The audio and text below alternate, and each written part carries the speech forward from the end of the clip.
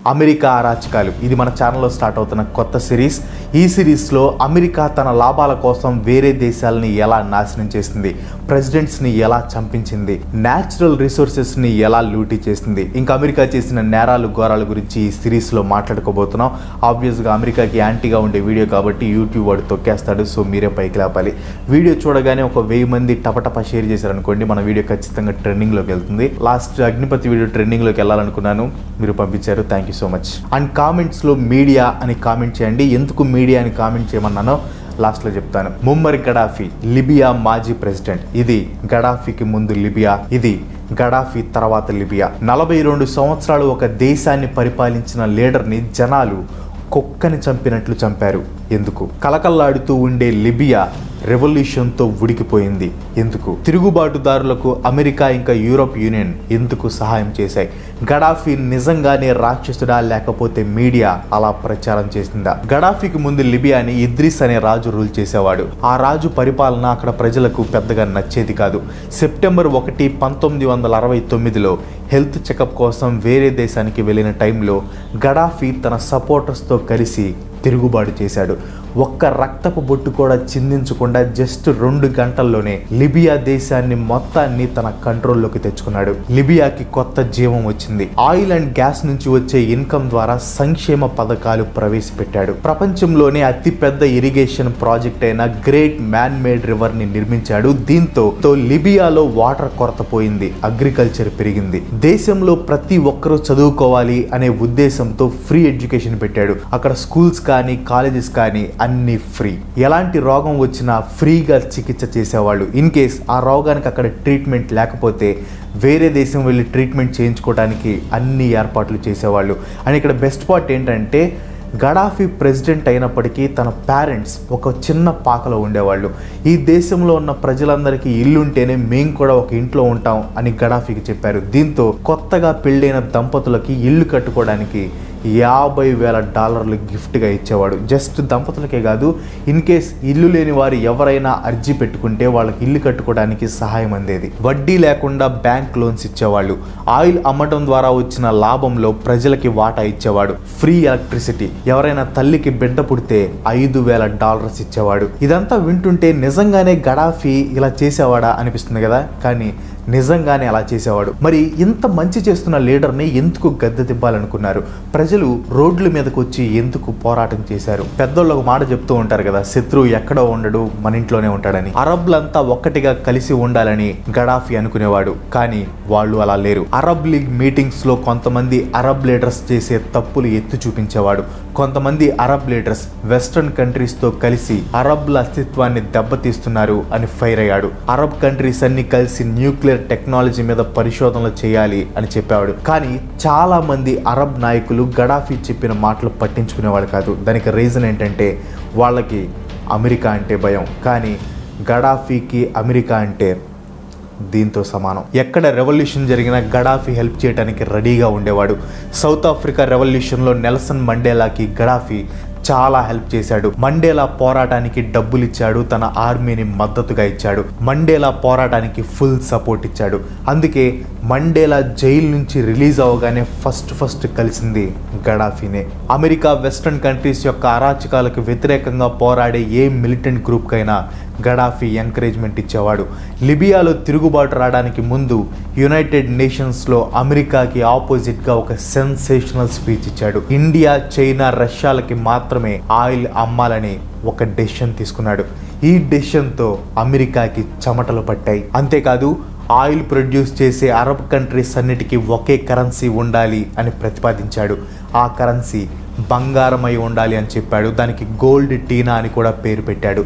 దీనివల్ల ఆయిల్ కొనాలంటే డాలర్స్తో పని లేదు బంగారమే కావాలి. ఇన్ కేస్ ఇది అమలులోకి వస్తే అమెరికా ఎకనామిక్ కండిషన్ ఫుల్గా డ్యామేజ్ అవుతుంది. అంతే కదా ఇప్పుడు ఆయిల్ కొనాలంటే డాలర్స్తో పని లేదు జస్ట్ బంగారం ఉంటే సరిపోతుంది. ఇప్పుడు వేరే దేశాల మీద పెత్తనం కొనసాగించాలనుకునే అమెరికాకి ఇది చాలా బ్యాడ్ న్యూస్. ఫ్రెండ్స్ ఈ రోజుల్లో జాబ్ సెర్చింగ్ అనేది చాలా హెక్టిక్ ప్రాసెస్ మీ జాబ్ సెర్చింగ్ని కొంచెం ఈజీ చేయడానికి మీకు మంచి యాప్ గురించి చెప్తాను. దాని పేరే అప్నా యాప్ దీంట్లో part time full time work from home night shift jobs కూడా ఉంటాయి. అండ్ ఎయిత్ పాస్ అయిన వాళ్ళకు కూడా వీళ్ళ దగ్గర జాబ్స్ ఉన్నాయి. అండ్ బెస్ట్ పార్ట్ ఏంటంటే మీరు డైరెక్ట్గా హెచ్ఆర్తో కాంటాక్ట్ అవ్వచ్చు. అండ్ ఫిఫ్టీన్ మినిట్స్లోనే మీకు జాబ్ వచ్చే అవకాశం ఉంది. దీంట్లో చాలా జాబ్ కేటగిరీస్ ఉన్నాయి. Like sales marketing typing telecalling and teaching ఇంకా చాలా ఉన్నాయి.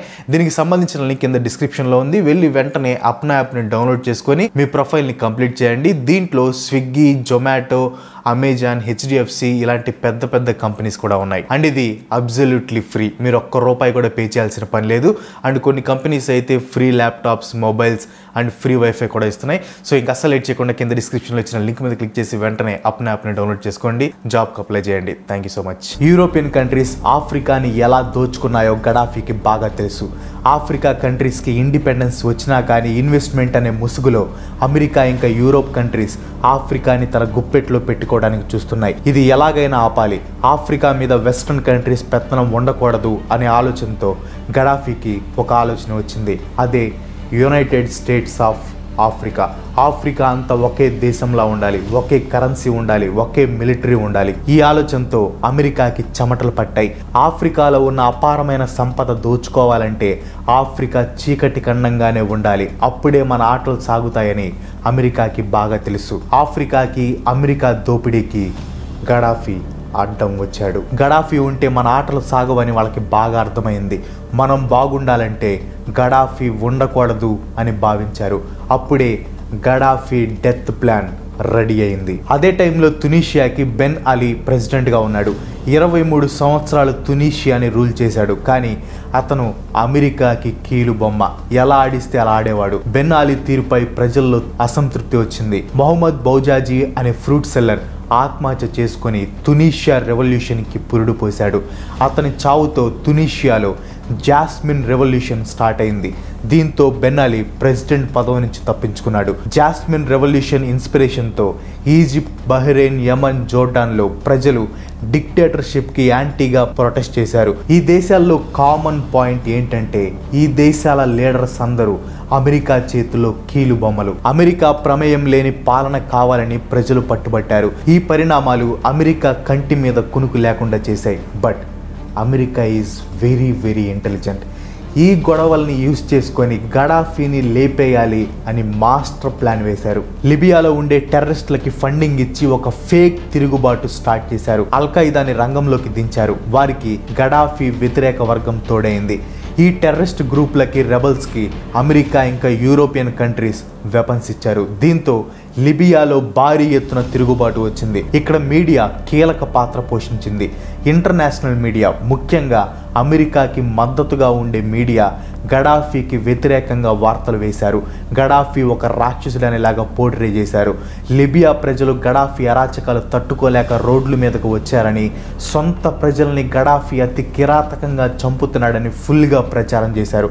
పాపం అమాయక ప్రజలు చనిపోతున్నారు. దానికి గడాఫీ కారణమని ప్రచారం మొత్తం చాటేశారు. ఇప్పుడు అమెరికా ఎంత కన్నింగో మీకు అర్థమవుతుంది.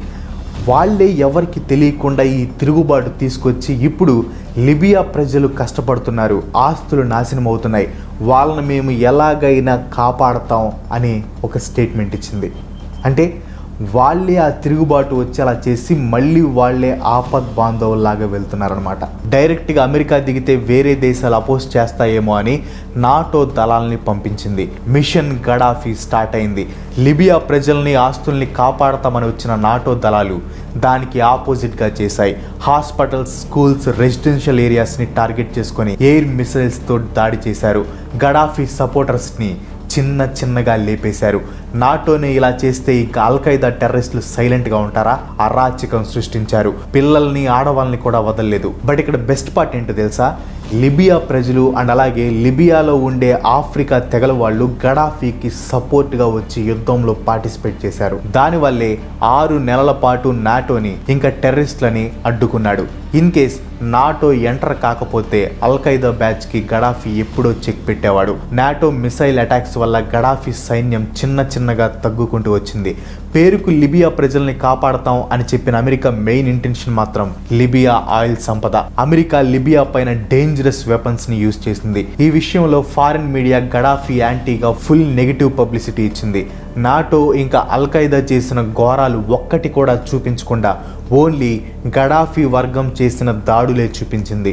గడాఫీ స్ట్రాంగ్గా అమెరికన్ ఫోర్సెస్ని అడ్డుకుంటున్నా కూడా ప్రపంచ మీడియా మాత్రం గడాఫీ ఓడిపోతున్నాడని భారీగా ప్రచారం చేసింది. నాటో దళాల వల్ల చనిపోయిన వాళ్ళ డీటెయిల్స్ ఒక్కటి కూడా బయటికి రానివ్వలేదు. ఒకప్పుడు గడాఫీ పాలనలో హ్యాపీగా ఉన్న ప్రజలు ఈ యుద్ధం వల్ల బ్రతకటమే కష్టమైంది. అక్టోబర్ ఇరవై రెండు వేల పదకొండు ఒక డ్రైనేజ్ పైప్లో దాక్కున్న గడాఫీని బయటికి తీసుకొచ్చారు. ఒమ్రాన్ షబాన్ అనే రెబల్ గడాఫీని కాల్చేశాడు. గడాఫీని ప్రాణాలతో పట్టుకునే అవకాశం ఉన్నా కూడా కాల్చి చంపేశాడు. గడాఫీ చనిపోవడానికి ముందు ఒక వీడియో తీశారు. ఆ వీడియోలో గడాఫీ వెనక ఉన్న వాళ్ళు keep him alive keep him alive అని అరుస్తున్నారు. అంటే దాని అర్థం అతన్ని చంపొద్దు అని. కానీ ఓమ్రాన్ షబాన్ ఎందుకు చంపేశాడు? అసలు ఈ ఓమ్రాన్ షబాన్ ఎవరు? నిజానికి ఓమ్రాన్ షబాన్ ఒక ఫ్రెంచ్ గూఢాచారి. అప్పటి ఫ్రాన్స్ ప్రెసిడెంట్ అయిన సర్కోజీనే గడాఫీని చంపటానికి ఓమ్రాన్ని పంపించాడు. బట్ గడాఫీ నాకు బ్రదర్ లాంటి వాడు అని సర్కోజీ చాలాసార్లు చెప్పాడు.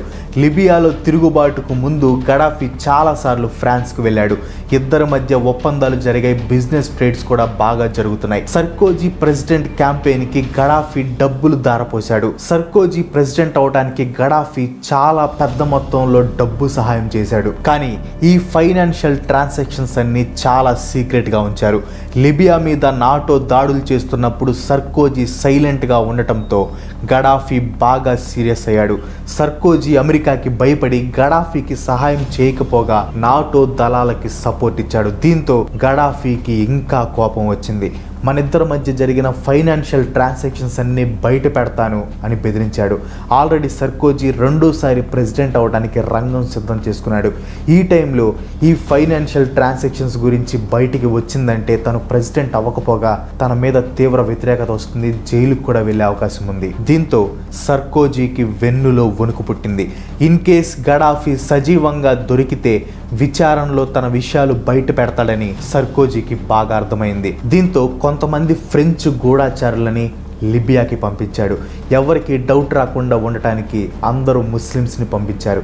ఈ ఫ్రెంచ్ గూఢాచారులు అక్కడ ఉండే రెబల్స్తో బాగా కలిసిపోయి వాళ్ళల్లో ఒక్కళ్ళగా అయిపోయారు. వాళ్ళల్లో ఒకడే ఓమ్రాన్ షబాన్. అందుకే గడాఫీ దొరకగానే చంపేశాడు. గడాఫీని చంపింది ఓమ్రాన్ షబాన్. చంపించింది సర్కోజీ. కానీ ఈ చంపడానికి ప్లాన్ మొత్తం క్రియేట్ చేసింది అమెరికా. గడాఫీ చెడ్డవాడని ప్రపంచానికి ప్రచారం చేసి ప్రపంచం నుంచి ఎలాంటి సహాయం రాకుండా చేయడానికి కీలక పాత్ర పోషించింది మీడియా. అందుకే స్టార్టింగ్లో మిమ్మల్ని మీడియా అని కామెంట్ చేయమన్నాను. ఇలాంటి సమయాల్లో మీడియా కీలక పాత్ర పోషిస్తుంది. ఇన్ కేస్ మీడియా బాధ్యతగా వ్యవహరించి ఉండుంటే లిబియాకి ఈరోజు ఆ గతి పట్టుండేది కాదు. ఫైనల్గా అమెరికా కోరుకున్నట్లే గడాఫీ అడ్డు తొలగింది. అగ్ర దేశాల నాయకులు ఊపిరి పీల్చుకున్నారు. నాశనమైన లిబియాని మళ్ళీ తిరిగి నిర్మించడానికి డబ్బులు ఇన్వెస్ట్ చేస్తాం అని చెప్పి మళ్ళీ లిబియాని తన కీలు బొమ్మగా మార్చుకుంది America. That's all for today ఈ వీడియో మీకు అనిపించింది కింద కామెంట్లో పోస్ట్ చేయండి. అమెరికా రాజకీయాలు టూ వీడియోలో ఇంకో దేశం గురించి మాట్లాడుకుందాం. ఆ వీడియో అసలు మిస్ కావడం అనుకుంటే ఖచ్చితంగా మన ఛానల్కి సబ్స్క్రైబ్ అవ్వండి. ఈ వీడియో నచ్చితే లైక్ చేయండి షేర్ చేయండి. నెక్స్ట్ వీడియో మిస్ కావడం అనుకుంటే మన ఛానల్కి తప్పకుండా సబ్స్క్రైబ్ అవ్వండి. ఇంకో మంచి చోటుతో మళ్ళీ కలుసుకుందాం. అంతవరకు సెలవు. Bye bye.